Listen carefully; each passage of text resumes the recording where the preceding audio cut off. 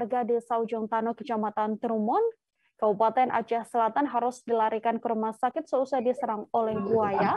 Dan korban dikabarkan putus karena diterkam buaya kala mengambil kangkung di Sungai Hitam Trimon pada Rabu 23 Februari. Meski mengalami luka, korban selamat dari gigitan buaya setelah berusaha keras untuk melawan serangan hewan tersebut.